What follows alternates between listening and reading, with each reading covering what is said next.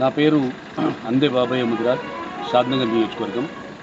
నేను ముదిరాజ్ మహాసభ రాష్ట్ర ఉపాధ్యక్షుడిని నిన్న బీఆర్ఎస్ పార్టీ కేసీఆర్ గారు నూట పదిహేను సీట్లు ఖరారు చేయడం జరిగింది. ఈ సీట్లల్లా ఒక్క ముదిరాజు బిడ్డకు ఒక్క సీటు కూడా ఇవ్వలేదు. కేసీఆర్ గారు మా ముదిరాజులు ఈ రాష్ట్రంలో సుమారు మూడు కోట్లల్లా అర్ధ కోటి మేమే.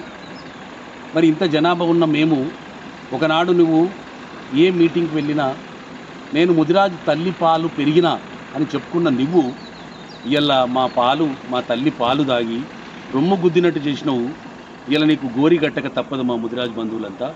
ఇలా ఈ నూట పంతొమ్మిది నియోజకవర్గాలలో ప్రతి నియోజకవర్గంలో సుమారు ముప్పై నుండి అరవై వేల జనాభా మా ముదిరాజు బిడ్డలు ఉన్నారు.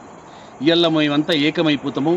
నీ ఎమ్మెల్యేలు నూట పంతొమ్మిది మందిని అరవై మందిని ఓడగొట్టేటువంటి ఓటర్సు మా ముదిరాజు బిడ్డలు ఉన్నారు. కనుక తస్మత్ జాగ్రత్త నువ్వు మాతో పెట్టుకున్నావు. గతంలో మా ఈటల రాజేందర్ గారిని మెడల్ బట్టి బయటికి దుబ్బినావు. ఆనాడు చెప్పినాం తమ్ముడిని ఎలగొడుతున్నావు ఇంట్లోకించి ఇల్లు పగిలిపోతుంది. ఆనాడు రావణాసురుడు ఏదైతే విభీషణ్ని ఇంట్లోకించి ఎలగొట్టిండో ఈ లంక అంటకపోయింది. రామనాసుడు చచ్చిపోయిండు. ఇలా అదే గతి పడుతున్నాం అది ఈరోజు కట్ కాబోతుంది. ఇలా మేము మొత్తం ఏకమైనం. నిన్ను నీ ఎమ్మెల్యేలను అరవై నియోజకవర్గాలల్లో మా ఓట్లు ఒక్క ఓటు పడదు నీకు.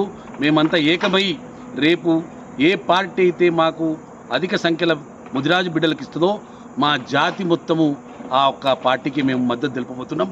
ఇలా ఆ కార్యక్రమమే కార్యరూపం దాలుస్తున్నాం కనుక నేను ఇలా రాష్ట్ర ముదిరా సంఘం ఉపాధ్యక్షునికి తెలియజేస్తున్నా నా ముదిరాజ్ బిడ్డలకు. మీరు ఎక్కడికక్కడ ఇలా మనల్ని పూర్తిగా ఈనాది ఈనంగా చేసి ఒక సీటు కూడా ఇవ్వలేదు కేసీఆర్. కేసీఆర్కు బుద్ధి చెప్పాలి.